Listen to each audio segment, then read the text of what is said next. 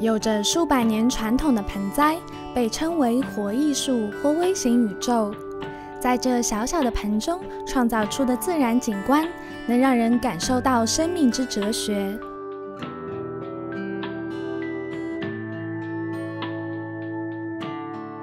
奇玉县大宫为来自世界各地的盆栽爱好者提供了盆栽之旅。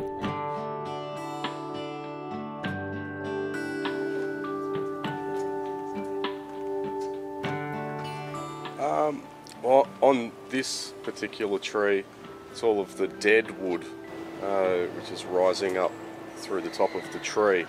It's all twisted and gnarled and uh, weathered.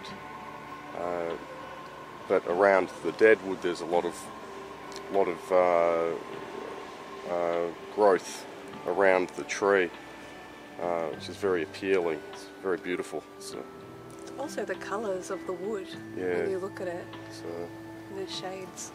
So the, the white of the uh, of the dead wood versus the reds of the uh, living veins in the tree. It's very nice.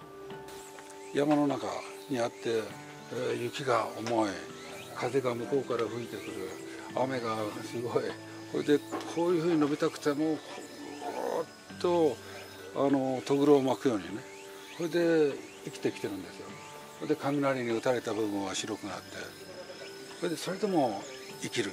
そこにあの日本の、えー盆栽をやる人は魅力を感じて特におじいちゃんたちはそういったところをポイントにして盆栽見てます。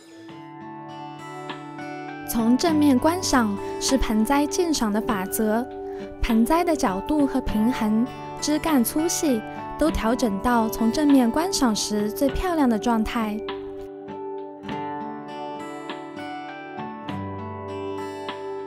现在还有面向海外的盆栽学校，以供更多人学习盆栽。想要稍稍舒缓下情绪，这里是首选。在这里还能品尝到和食便当、燕京鲳鱼盖饭等美食，并享用日本酒和特制饮料。休息日不如来盆栽村玩味盆栽，体验日本之美。